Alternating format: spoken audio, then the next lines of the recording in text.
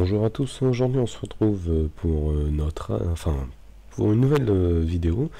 Donc ça va être Final Fantasy VII.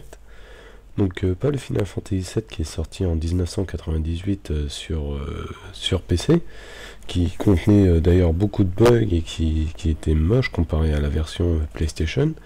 Mais on va jouer sur le remake qui est sorti en 2012 de Final Fantasy VII. Donc euh, j'ai déjà euh, pas de sauvegarde, donc euh, c'est du, de la découverte, enfin même si je connais déjà le jeu et que je l'ai déjà fini plusieurs fois, mais pour vous ça va être une découverte puisque c'est aussi pour moi la première fois que je vais jouer sur, sur le PC, donc, donc voilà.